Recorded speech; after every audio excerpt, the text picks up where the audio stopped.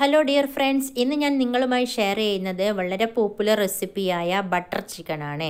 ഇതിന്റെ ഏറ്റവും ഇൻട്രസ്റ്റിംഗ് ആയിട്ടുള്ള പാർട്ട് ഇതിന്റെ മസാല റെഡിയാക്കലാണ് അപ്പോൾ നമുക്ക് വേഗം തന്നെ വീഡിയോയിലോട്ട് പോകാം. അപ്പോൾ ചിക്കനൊക്കെ ഞാൻ ക്ലീൻ ചെയ്ത് വെച്ചിട്ടുണ്ട്. ഇതിപ്പോൾ ബോണോട് കൂടിയിട്ടുള്ള ചിക്കനാണ്. നിങ്ങൾക്ക് വേണമെങ്കിൽ ബോൺലെസ് ചിക്കനോ എടുക്കാം. ഇതിപ്പോൾ ഏകദേശം വൺ കെ ജി ചിക്കൻ ഉണ്ട് അപ്പോൾ നമുക്ക് ഇതൊന്ന് മാരിനേറ്റ് ചെയ്തെടുക്കാം. ഇനി ചിക്കനിലേക്ക് ആവശ്യമായ ഉപ്പ് ആഡ് ചെയ്യുക. ഇനി ടു ടീസ്പൂൺ മുളക് പൊടി നമുക്ക് ആഡ് ചെയ്യാം. ഇനി one teaspoon ginger garlic paste കൂടെ ആഡ് ചെയ്യാം. വെളുത്തുള്ളി കൂടുതലും ഇഞ്ചി കുറവുമായിട്ട് പേസ്റ്റ് ഉണ്ടാക്കണം.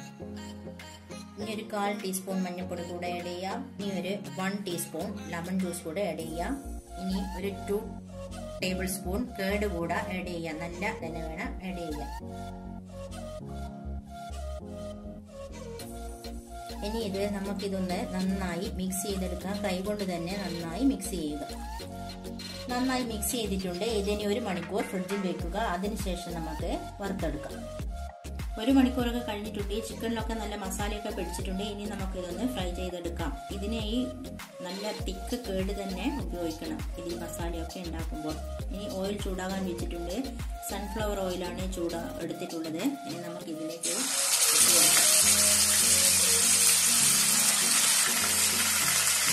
സ്ലോ ഫയറിൽ വെച്ചിട്ട് വേണം ചിക്കനൊക്കെ ഇതുപോലെ ഫ്രൈ ചെയ്തെടുക്കാൻ. നമുക്കിത് രണ്ട് ബേച്ചായി വെച്ചിട്ട് ഫ്രൈ ചെയ്തെടുക്കാം.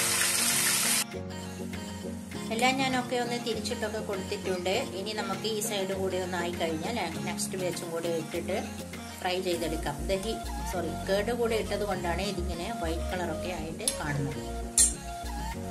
ഫസ്റ്റ് ബാച്ച് ഞാൻ വറുത്തെടുത്തിട്ടുണ്ട്. ഇനി അടുത്ത ബാച്ചും കൂടെ നമുക്ക് ഫ്രൈ ചെയ്തെടുക്കാം.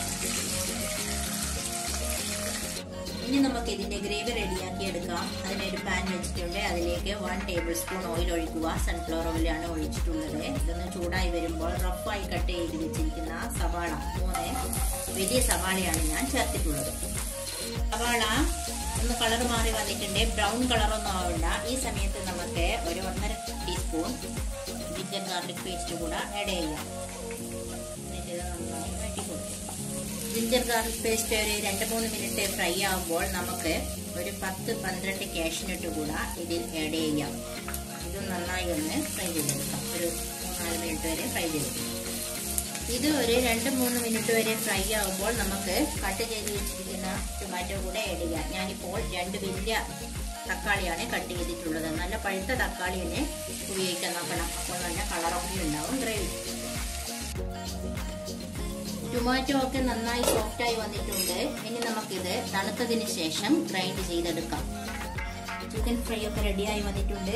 തക്കാളി ഉള്ളിയൊക്കെ തണുത്ത് വന്നിട്ടുണ്ട്. നമുക്കിത് പേസ്റ്റാക്കി എടുക്കാം. കടായി ചൂടാൻ വെച്ചിട്ടുണ്ട്. അതിലേക്ക് രണ്ട് ടേബിൾ സ്പൂൺ ബട്ടർ ആഡ് ചെയ്തിട്ടുണ്ട്. ബട്ടർ മെൽട്ടായി വന്നിട്ടുണ്ട്. ഇനി അതിലേക്ക് രണ്ട് ടീസ്പൂൺ മുളക് പൊടി ആഡ് ചെയ്യാം. ഇനി ഒരു കാൽ ടീസ്പൂൺ മഞ്ഞൾപ്പൊടി ആഡ് ചെയ്യാം. ജസ്റ്റ് ഒന്ന് ചൂടാക്കുക. വളരെ പെട്ടെന്ന് തന്നെ ടൊമാറ്റോ പൊരി ഇതിലേക്ക് ആഡ് ചെയ്യാം. ഗ്രേവി നന്നായി തിളച്ചു വന്നിട്ടുണ്ട് ഇനി അതിലേക്ക് ഒരു ടീസ്പൂൺ മല്ലിപ്പൊടി കൂടെ ആഡ് ചെയ്യുക. ആയി മിക്സ് ചെയ്യുക. ഇനി ഇതിലേക്ക് വറുത്ത് വെച്ചിരിക്കുന്ന ചിക്കൻ ആഡ് ചെയ്യുക. ഇനി നമുക്ക് ഇതൊന്ന് അഞ്ച് മിനിറ്റ് അടച്ചു വെച്ച് വേവിച്ചെടുക്കാം. ഇനി ഇതിലേക്ക് one tablespoon tomato sauce കൂടെ ആഡ് ചെയ്യുക. സോസ് ഇല്ലെങ്കിൽ നിങ്ങൾക്ക് ഷുഗർ കൂടെ ആഡ് ചെയ്യാവുന്നതാണ്. ഇത് രണ്ടും ഓപ്ഷണലാണ് ഇനി ഇതിലേക്ക് കസൂരി മേത്തി ആഡ് ചെയ്യുക. ഇതൊക്കെ ഓപ്ഷണലാണ് നിങ്ങളുടെ കയ്യിൽ ഉണ്ടെങ്കിൽ മാത്രം ആഡ് ചെയ്യുക. നന്നായി മിക്സ് ചെയ്യുക. ഫൈനലായി ഒരു ഇൻഗ്രീഡിയന്റ് കൂടെ ആഡ് ചെയ്യാനുണ്ട് ഗരം മസാല. ഒരു ടീസ്പൂൺ ഗരം മസാല കൂടെ ആഡ് ചെയ്ത് ഒരു മൂന്ന് മിനിറ്റ് അടച്ചു വെച്ച് വേവിക്കാം. അങ്ങനെ ബട്ടർ ചിക്കൻ റെഡിയായി കഴിഞ്ഞു. നമുക്കിനി ഇതൊരു സെർവിങ് ഡിഷിലോട്ട് മാറ്റിയെടുക്കാം. അങ്ങനെ വളരെ ടേസ്റ്റി ആയിട്ടുള്ള ബട്ടർ ചിക്കൻ റെഡിയായി കഴിഞ്ഞു. ഇതിന്റെ മേൽ ഞാൻ ഫ്രഷ് ക്രീം കൂടെ ആഡ് ചെയ്തിട്ടുണ്ട്. നിങ്ങളുടെ കയ്യിൽ ഉണ്ടെങ്കിൽ മാത്രം ആഡ് ചെയ്താൽ മതി. എല്ലാവരും ഉണ്ടാക്കി നോക്കണം. ഇഷ്ടപ്പെടുകയാണെങ്കിൽ എല്ലാവരും സബ്സ്ക്രൈബ് ചെയ്യുക സപ്പോർട്ട് ചെയ്യുക. താങ്ക്